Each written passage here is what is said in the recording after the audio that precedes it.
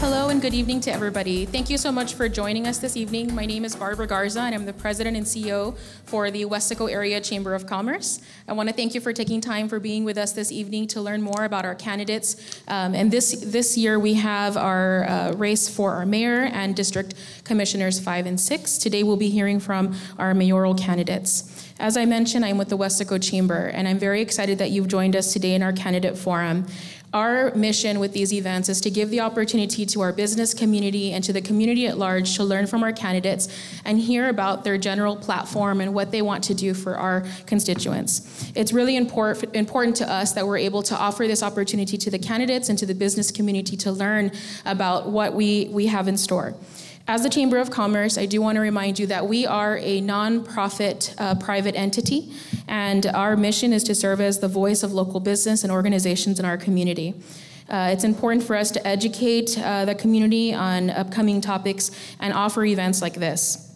A candidate forum uh, does this just that, and as, as it serves an opportunity for candidates to present their platforms and uh, share with the community their stance on important issues in our community to let you know the mission cha- the chamber uh, mission is together with our partners we provide leadership to advance a prosperous economy that enhances the quality of life in our community.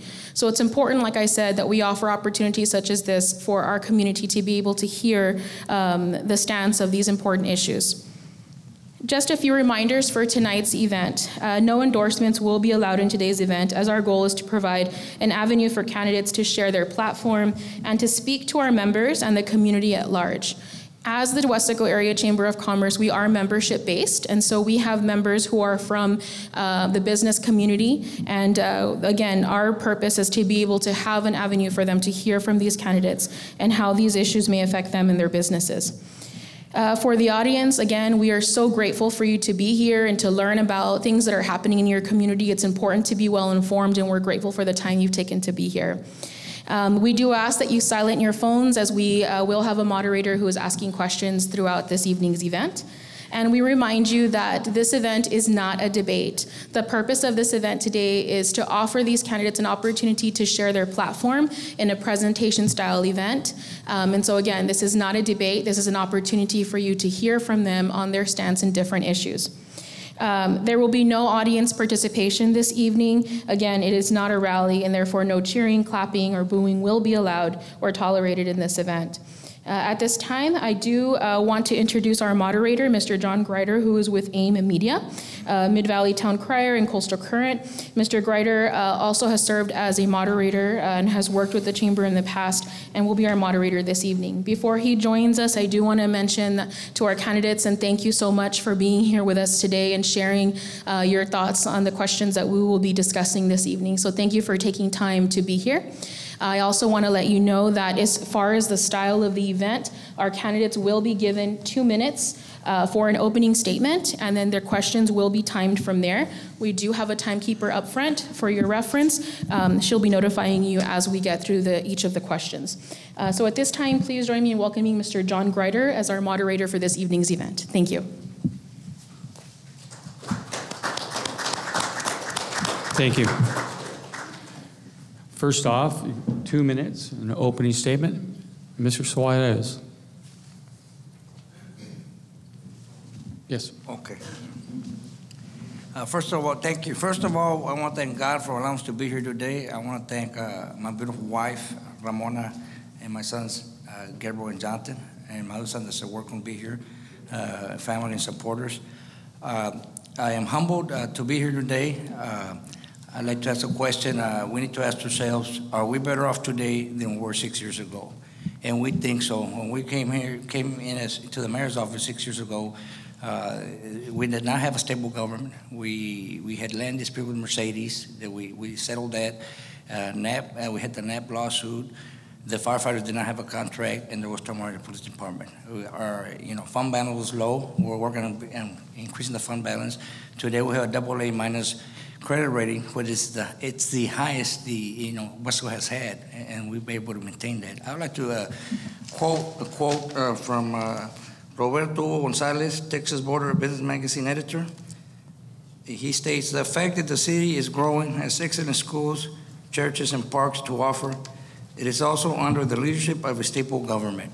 He quoted that here, you know, a couple months ago in the Texas Border Magazine, and, and that's the journey that we have uh, taken from 2013 to 2019. Also, the Boys Club wasn't averse and not getting built, and we took care of that, that issue also. Um, I am humbled and honored that the citizens have, have allowed me to be their mayor for the last six years. I love Weslaco. I breathe and live Weslaco. God bless you and God bless Weslaco. Thank you. Thanks, sir. Mr. Castaneda, your opening statement? Good evening. First, I would like to thank the Chamber of Commerce for inviting me here tonight. My name is Alfredo Castañeda. My good friends know me as Duff, and my former students know me as Coach Duff. A little bit about myself. I was born and raised in the great city of Weslaco. I attended Weslaco High School and graduated in 1997. I obtained my bachelor's degree in interdisciplinary studies in 2004 from the University of Pan American. I have been working for the Weslaco Independent School District for 21 years. My journey with the school district began as a bus driver. While working for the transportation department, I earned my bachelor's degree from UTPA. I have a strong connection to the community, feel the need to be instrumental for the change of Weslaco. Weslaco needs to be restored again to the All-American title. However, what does that this mean? It means returning to the days of conservative spending by investing public funds wisely. Secondly, putting the importance back on the public service is by providing the appropriate necessities to residents so they can they do have what they need to survive in the city. and fear of losing all they have worked for due to an inadequate drainage system. Lastly, I want to rebuild the trust with our local government by being a true public servant who serves with integrity. Thank you, and God bless. Thanks, sir. We'll go to questions now. Mr. Suarez, the first question is for you. Tax rates are always a hot topic. Do you have a plan to lower Weslaco taxes? That's a good question, John. We, we had a plan when we came in, in- you know, in this- into the mayor's office. We did lower the tax rate from 69 to 66 cents in the last five years due to the flooding and due, due to the flooding that we've had, consequent flooding, uh, we, we had to take it to, you know, to the citizens uh, to do a bond election, which the citizens voted for bond election. And thus, uh, we had to increase three cents because of the bond passage and put us back at 69. If it weren't for the three cents that were lowered, we would have been higher, at a higher tax rate. Uh, We will continue to uh, try to lower the tax rate as we uh, make, make, make our obligations with the bonds and addressing the drainage issues that the citizens want to address uh, through the bond passage. Thank you. Same question? People always want to pay less taxes. I'm one of them. Reducing tax rates now is a slippery slope due to the rollback policies. At this time, I have no plans to decrease taxes, tax rates, but I have a plan to keep them from increasing. My plan, if I elected, is to work with, with the city manager to bring a full-time grant writer for the next fiscal year. The, the $10 million plan that was passed could have been turned into a $20 million. If we had a grant writer, next step is to promote fiscal responsibility and minimize wasteful spending. Third, we need to research how we can generate revenue from the city instead of outsourcing services to a third party.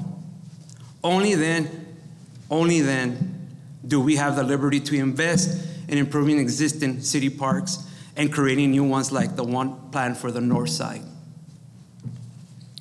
Thank you. Staying with you, campaigns can be expensive. How can a candidate accept contributions and still remain impartial and fair once elected?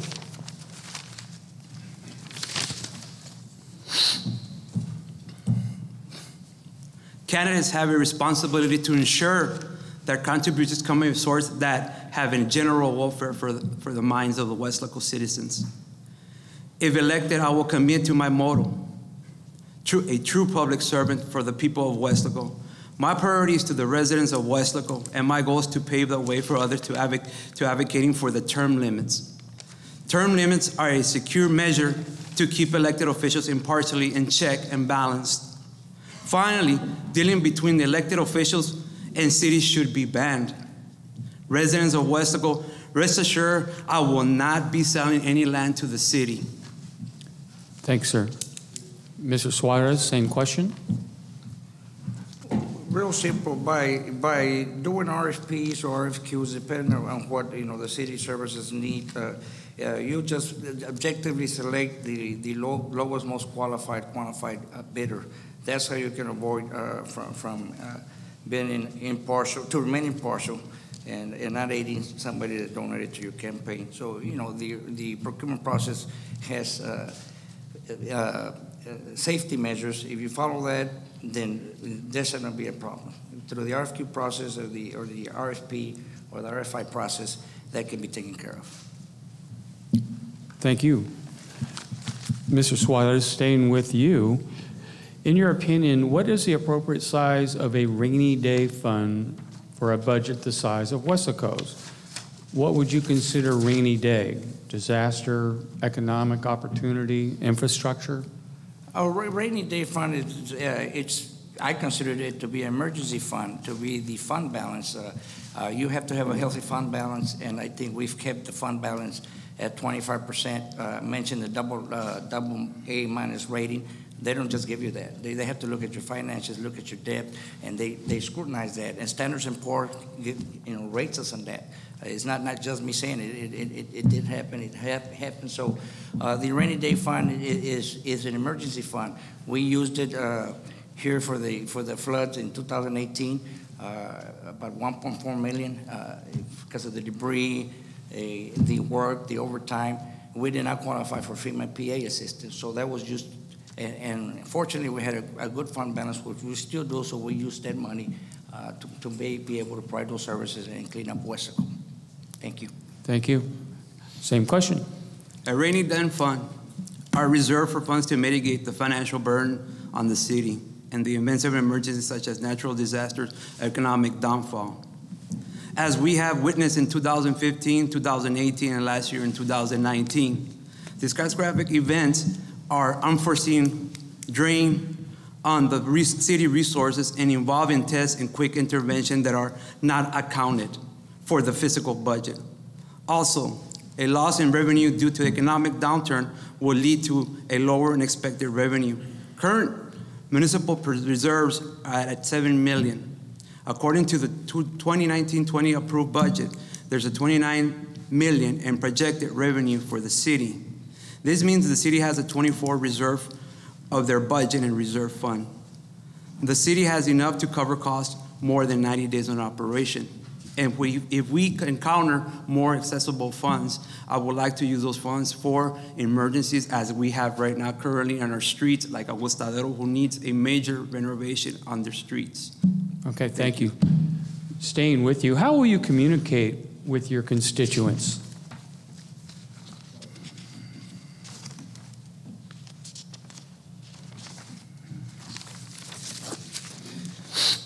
In this day and age, it's absolutely no way we can be out of touch with the constituents. I will be available to the constituents when needed based upon appointment. I will be present on social media outlets.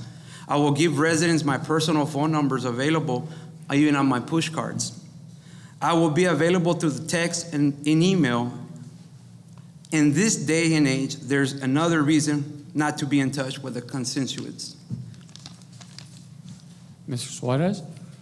I will continue to, to, to, to have uh, the open uh, meetings on Tuesday, uh, you know, uh, at City Hall and by appointment. I respond to messenger, to social media. I usually return the phone call that same day and try to look at the emails and return via emails, but I take appointments most all the time. So the constituents can get a hold of me.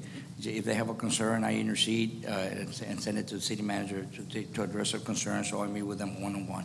I'll continue to do- the same if I, if I'm fortunate to win re-election. Thank you. Sticking with you, next question.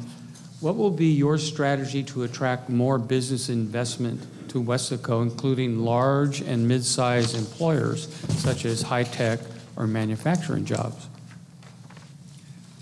The plan would be to, to have, you know, they've done a good job, continue to be more aggressive, uh, you know, our, you know, economic arm, which is the Economic Development Corporation, to continue to attract uh, more businesses, uh, which they have done. We've gotten some business uh, attraction here to Weslaco in reference, you know, that's, uh, you can see that because of the sales tax rate has increased, the ad valorem tax, uh, our tax rate has been increasing, so there's been growth. I, I think that we continue to uh, attract, you know, mid-size. We like to get manufacturing, but if manufacturing doesn't come, then we take retail, restaurants. Whoever wants to come to Weslaco and wants to be a good corporate citizen, we're going to continue to attract and entertain them. Thank you. Thank you. Yes, Same sir. Can? I, can I ask you a question? Can you repeat the question again, please? Sure. What, what will be your strategy to attract more business investment to Weslaco, including large and mid-sized employers such as high-tech or manufacturing jobs? Oh, yeah. we need to think outside the box and look at it, at, it, at successful ventures of other municipalities. We need to be smart. We need a smart approach to attract business growth, the right business growth, with higher paying jobs that will have a lasting impact on residents and secure our future. The $850,000 expansion on the Mid Valley Airport is crucial to the type of growth Weslaco needs. We need to incorporate medical transport and incentivize a medical stagnant service presence that was currently have in mind in the Mid Valley. Knapp is one of the largest employers in the city and is deteriorating. We need to find a way to work with the medical community to keep our homegrown talent here in Weslaco. We can also take advantage of Weslaco as a geostrategy logistics. We can tap into the FedEx introduction, introduction by Harlingen to serve as a delivery process hub. In addition, also need to tap into economic growth around the city to make better judgment, better judgments, and need to tap figures out the type of services to provide. Thank you. Th- Thank you, sir. Time. Next question. Many candidates for city office have a background in volunteering in the community. Do you feel it is important to be involved in community activities? And have you volunteered your services in Weslaco in the past? Mr. Suarez. Yes, uh, I volunteered, I I was in the Little League Board of Directors, in charge of the umpires back in, in the early nineties, eighties. I was also, you know, in Football- Football League, I contributed a lot, uh, you know, to, to the sports. Uh, It was a Football League, I also umpired. Uh, Later on in life, I, I I was, you know, appointed to a board. I was also the president of the Eco- uh, Economic Development Corporation of Weslaco, so I've contributed and participated, eh, eh, you know, in the community in that manner. And it is important. Uh, We have to get involved and get back to the community. Thank you. Thank you. Same question? Community service is very important. In the past, I have volunteered at the Weslaco Youth Football League as a coach for six years. However, to be honest, as the sole breadwinner of, for my family, volunteering is a luxury that many others in the working class profession cannot afford. And has continued in being involved has been my challenge. My work in my community service continues through my students. As an educator, I stay after school, writing countless of college and work recommendation letters, and even assisting in job placements within the community. We got the highest water rates in the valley. No full-time rider, pipes that burst, that don't drain. Residents and business leaving Weslaco, running for mayor is my community service and my duty. And I promise to, to show my face in the event of another 500-year storm. Thank you. Mr. Suarez, short and long-term strategic planning is vital in most entities. What would be your top two issues to address Well, or goals one- to attain within the next one or two years? the issue, of course, is, is, is the infrastructure in- as it relates to uh, drainage, which we're working on uh, already, we have some of the projects already completed. Eh, Our drains committee continues to work hard uh, on that, and we'll continue to see, see that through with a bond bond passage. Uh, I was in the two for hundred events uh, that my opponent had alluded to. I, I've been out there, you know, with the workers, city workers, county workers, looking at the flooding, learning the landscape of it. So uh, I've been fortunate to, to be out there and, and, and be helping the citizens. Uh, and Mark, and I didn't answer it right now, but I've been giving back to the community as mayor the last six years, and I'll continue to do that. The other is the, uh, streets that we, when we came in, there was no money for street paving. We, we, street- we've allocated a million the first year, and we've done seven fifty every year, the last two years, five hundred thousand. So we've put a couple million dollars in the infrastructure of the streets, and we'll continue to do that. Thank you. Thank you. Same question? It was what the most important president needs, right? That's what the question was. Short, short and long-term strategic planning is vital in most entities. What would be your top two issues to address or goals to attain within the next one or two years? Okay. As a, as a mayoral con- candidate, one of the short-term goals is to change the culture of the city, being one of the public services. Providing a, fri- a friendly, customer-oriented service. My long, my long-term goal is to change the perception of local office and gain the people's trust is essential to improving relationship with the municipal government and gain back the people's trust. If I am elected, I will fight for accountability and transparency and spending. I will work with the commissioners to promote and place term limits on elected officials. In addition, I will advocate for ban on elected officials to bid or conduct business for personal person gain on taxpayer dime. Though intentionally, though intentionally smart spending, we can prevent future tax burdens on residents and business. It is time to shed the distrust and enact policies that will restore trust, integrity, and accountability to Weslaco. Thank you. Okay, this is a long one. Uh, Mr. Suarez, there's a general business concept that says business, businesses, in particular retail businesses, consider opening or relocating a store location based on the number of rooftops within a certain area or community. Do you have any specific plans or on encouraging or promoting residential subdivision development as both a quality of life issue and an economic development issue? How can Weslaco encourage new home building for all income levels when the cost of land and home construction is rising? That's a long one, but that's a good question. Uh, We have worked, uh, since 2017, uh, we, you know, our numbers have gone up in the residential subdivisions and rooftops, and that's evident by, you know, the quality of life, the parks, uh, people coming, you know, to Weslaco, uh, because of schools, churches. Uh, We have, in 2017, we had 203 rooftop- rooftops, new houses. In 2018, we had 217, and in 2019, we're on target to about 220 houses. So that's over 630 houses at about four residents uh, per house, 2,500 more people. And that's because they're coming into Weslaco, Weslaco's going. So I think that- that we've already working on that. So the quality of life, the parks, sta- stable government, fire and police, uh, all attribute to that. Our churches, our school district, you know, uh, they're all, you know, stable, so they're coming to Weslaco to live in Weslaco and raise a family. Thank you. Same question? in order to increase rooftop is to not just count the, the numbers of houses that we have being expanded in Weslaco and residential areas. It's also counting our next door neighbors and creating, as an example, 1015, connecting Progreso, Weslaco, and Edcouch-Elsa, and using 1015 as a hub to promote more housing and residential growth and expanding the businesses in that area, which is the lack of to begin with. Okay.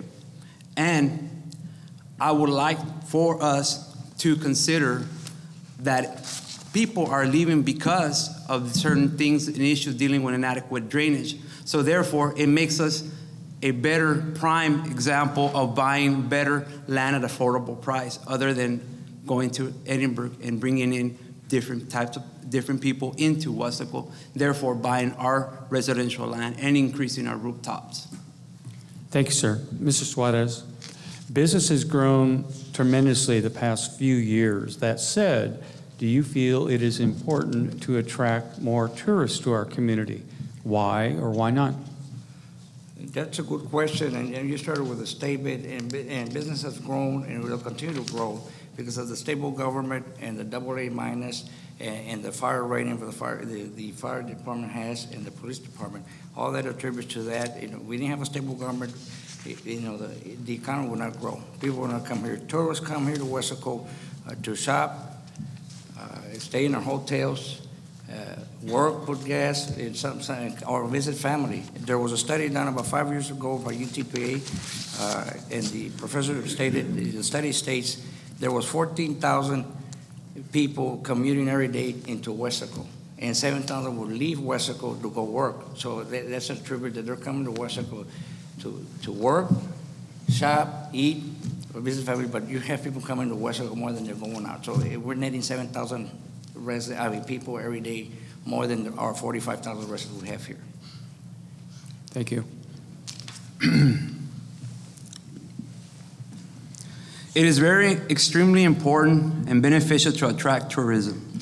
Tourism is an opportunity to generate revenue for our local businesses.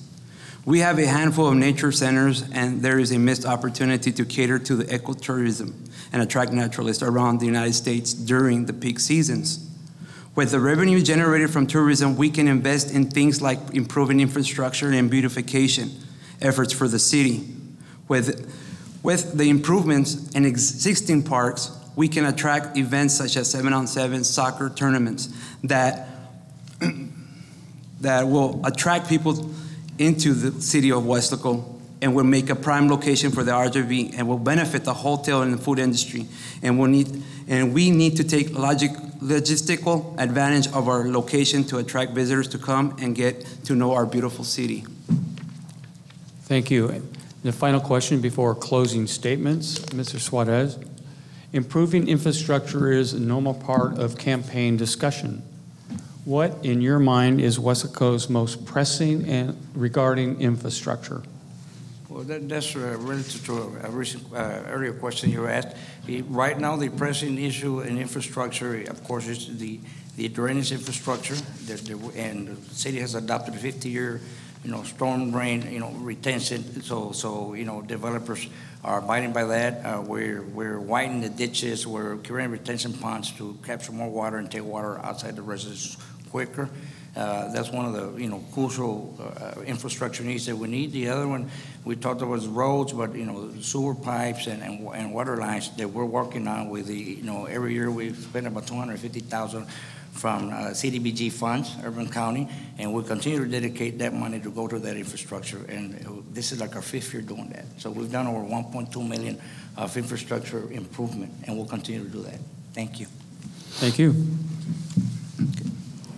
Just to start off with, look at the entries and exit points of Weslaco during rush hours. Traffic is at a standstill from Milano all the way to down to 1015. Also, drainage infrastructure is outdated and has, kept, has not kept pace with the current economic growth. In the past two years, we have experienced two major floods events we have elected officials that own business and build an apartment complex that are not following city buildings codes. Public safety is also another concern. Thank you. That concludes the questions. Each of the candidates now will have two minutes for a closing statement. Mr. Suarez? Uh, uh, Thank you, thank you so much, uh, John, for hosting this and the Chamber of Commerce, uh, for people being here, family, friends, supporters. Uh, Mr. Cassant, thank you for being here, for participating. Again, I just reiterate, uh, we trust ourselves that we're better off today than we were six years ago. Mention some of the- the issues that we addressed, that we'll continue to address. I think we- we are. We'll continue with your help and support. We continue to move forward and uh, take care of, of and continue to improve the infrastructure needs. We're working on, on the drainage issue, where business continues to boom. Weslaco continues to grow. We, these growing pains of the traffic and, and and being clogged, you know, that we have a lot more traffic coming in. We're gonna work on that with, with, uh, traffic studies. We also partnered up with Hidalgo County from mile nine to mile eleven. We're gonna expand mile six. It's been in the work for ten years. We, we've been able to move on it on, in, on the MPO and we'll continue. We're gonna let that project here in October. So you're gonna see curb and gutter and drainage component improvement that's gonna alleviate a lot of that traffic there uh, between mile nine and 11. And we also have another project that, that we have in the MPO where we partner with the county, precinct one, and we're gonna expand mile 10 from Westgate all the way to 1015. That's already in the 10th year at the MPO. So it's going through environmental study, and we're gonna invest money in there and get that also five lanes to, you know, uh, turning lane and two lanes going east and two lanes west with curb and gutter. We'll continue to, uh, to work on that in our infrastructure and wiring the roads so we can make sure that, that we have a hub here in Weslaco. Again, thank you. I love Weslaco and I breathe Weslaco. I ask for your support. God bless you and God bless Weslaco. Thank you. Yes, sir. Once again, thank you to the Chamber of Commerce for granting me the privilege to- of being here today. I would like to take advantage of this opportunity to explain what prompted my candidacy for mayor. I believe that as a citizens of a prestigious city, every individual must be treated with respect and taken into consideration regardless of their level of socioeconomic status. Every citizen in this city matters. Our ancestors have made our city historical. Our parents have established a long life commitment to the residing in Weslaco. And our children and the follow generations to come will continue on the legacy. Let's work to be ex- exclusive, committed, respectful, and dedicated to the city of Weslaco. I would like to propose, Mayor Suarez, an open forum at the Placita Park. We can have, we can hear, we can have people, the Chamber of Commerce there, and the citizens of Weslaco. Now, to give it time for the citizens to ask questions and explain their concerns to us. Thank you. Thank you very much. And that's it for this evening. Barbara.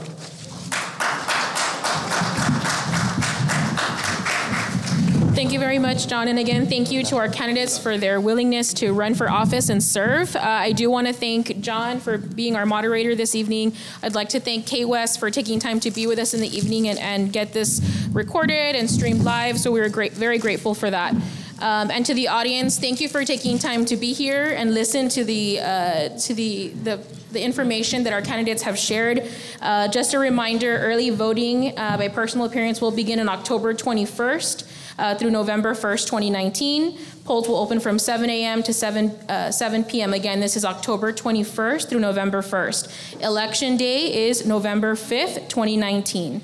Most importantly, we thank you again for being here and we remind you it's important for you to vote. So please make sure to take time to either attend our early voting opportunities or on uh, election day. Thank you again for being here. We appreciate your time. Good evening.